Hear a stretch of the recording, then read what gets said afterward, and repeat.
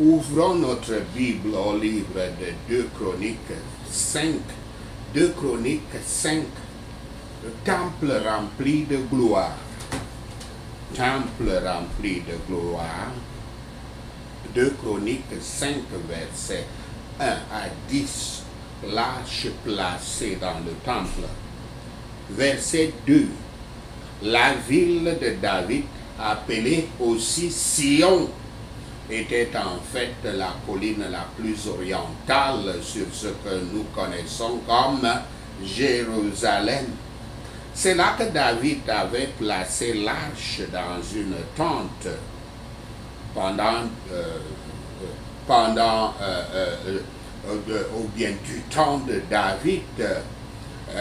Sion n'était que la moitié environ d'un bloc de la ville et environ deux blocs un bloc sur environ deux blocs de, la ville, construit sur la crête inférieure du mont Moria.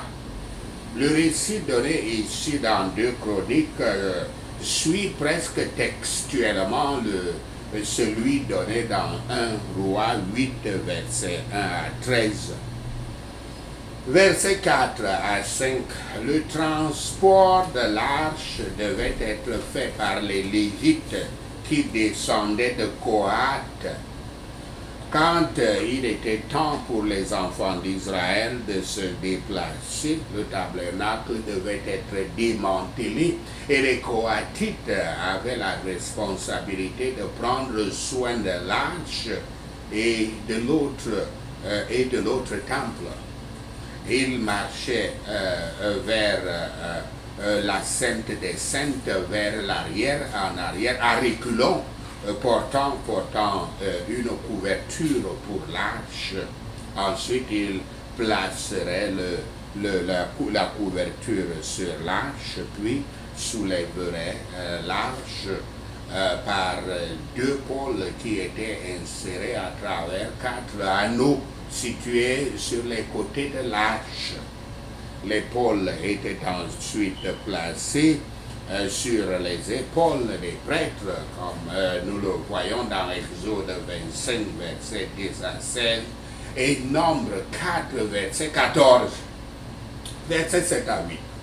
Le temple proprement dit se compose de deux pièces principales le lieu sacré qui mesure 60 pieds de long et 30 pieds de large, est le lieu, le lieu le plus, le plus saint, appelé le Saint des Saints, qui est de 30 pieds de long et 30 pieds de largeur. C'est dans le lieu de, le plus saint ou le Saint des Saints que l'arche doit être placée. Les ailes une aile euh, de chacun des deux chérubins forme une canopée pour euh, les deux ailes, les, deux, les, ailes, toutes les ailes, les quatre ailes des deux chérubins forment un canopée euh, sur, pour l'arche dans le sein des saints. Chaque chérubin a une envergure de l'aile de 15 pieds. L'arche était un type du Christ et en tant que tel, un signe de la présence de Yahweh. Rappelons-nous cette gracieuse promesse de la grande commission. Je cite, moi, je suis avec vous pour toujours jusqu'à la fin du monde. Fin de citation dans Matthieu 28, verset 20. Ce qui entraîne effectivement l'arche dans nos assemblées, dans nos églises, c'est nous, par la foi et la prière, euh, plaidons cette promesse.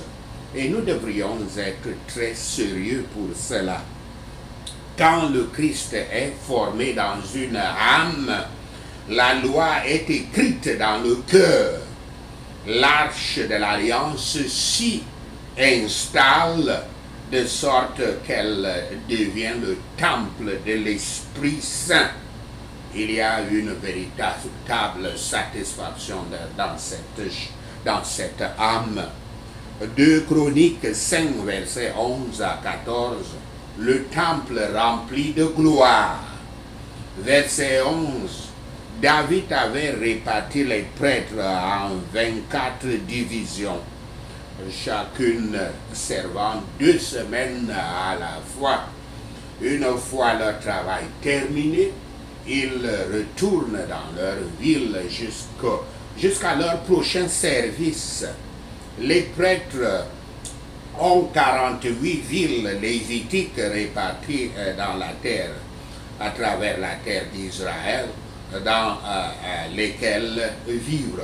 Ici, pour la dédicace du temple, tout ce qui était présent pendant cette période de célébration avait assisté au sacrifice. Versets 12 à 14 les paroles de louange enregistrées au verset 13 sont utilisées à d'autres, à d'autres moments dans le récit de chronique, de, le récit de deux chroniques, 7 verset 3 et 20 verset 21. Après ce temps de culte et de louange, la gloire appelée Shekinah la présence, c'est-à-dire la présence de Dieu, a rempli le temple de, euh, euh, euh, le temple. Yahweh habite dans les louanges de son peuple. Je répète encore, Yahweh habite les louanges de son peuple. Yahweh prit possession du temple et, le remplit de nuages ainsi, il signifia son acceptation de ce temple pour être le même pour lui, euh, ce qu'était le tabernacle de Moïse, et assura à son peuple ainsi qu'il serait le même en lui.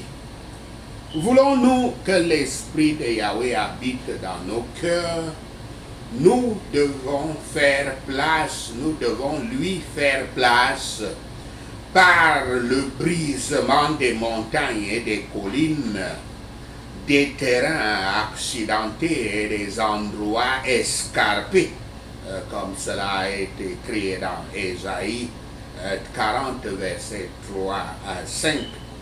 Tout le reste doit céder dans notre cœur. La parole a été faite chère et quand elle vient à son temple, comme un feu de raffinage qui peut demeurer euh, le jour de sa venue. Qui peut résister le jour de sa venue? Prions qu'il nous prépare pour ce jour-là. Sachez cela et le Seigneur Yahweh vous bénira. Amen. Alléluia. Prenons ces points de prière. Seigneur Christ, l'arche de mon temple, Prends ton siège dans mon cœur au nom de Yahshua le Messie. Seigneur Christ, apporte la présence de Yahweh dans le temple de mon cœur au nom de Yahshua le Messie. Seigneur mon Sauveur, couvre mon temple intérieur avec ton nuage de gloire au nom de le Messie. Par la foi et par la prière, nous implorons ta promesse gracieuse qui dit, voici je suis avec vous pour toujours jusqu'à la fin du monde, au nom de le Messie. Seigneur le Messie, apporte ton arche dans notre temple à l'assemblée des disciples du Christ, au nom de Yahshua le Messie. Christ mon sauveur, écris ta loi royale dans mon cœur au nom de Yahshua le Messie. Christ mon sauveur, installe l'arche de l'alliance dans mon cœur et transforme-le, transforme-le en temple de l'Esprit Saint au nom de Yahshua le Messie. Christ mon sauveur, établis une véritable satisfaction dans mon âme avec ta gloire au nom de Yahshua le Messie. Père Yahweh, tu es bon et ton amour dure pour toujours au nom de Yahshua le Messie. Esprit Saint, remplis mon cœur avec ton nuage pour me dire que tu m'acceptes au nom de Yahshua le Messie. Esprit Saint, je te remplace, je te donne une place, viens habiter dans mon cœur au nom de Yahshua le Messie. Toutes les impuretés et les pensées pécheresses dans mon cœur, je vous efface par le sang du Christ et je les enlève par le feu de l'Esprit Saint au nom de Yahshua le Messie. Père Yahweh, je brise toutes les montagnes et collines, les terrains rugueux et les endroits escarpés accidentés dans mon cœur, et j'aplanis le sol pour te recevoir au nom de Yahshua le Messie. Comme le feu d'un raffineur, parole de Dieu vient dans le temple de mon cœur et rafraîchit mon âme au nom de le Messie. Seigneur le Messie, prépare-moi pour le jour de ta venue. Merci Seigneur, au nom de Yahshua le Messie, nous prions. Seigneur Yahweh, nous te rendons gloire, nous te remercions d'avoir entendu nos prières. Nous te remercions de ta réponse, de tes réponses à nos prières. Seigneur, nous te rendons gloire, nous te louons, nous t'adorons. Au nom de Yahshua le Messie, nous prions. Amen.